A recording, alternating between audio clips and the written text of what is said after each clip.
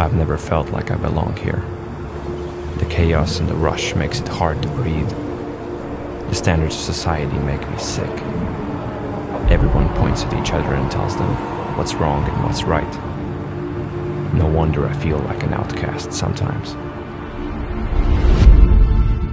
But here, things are different.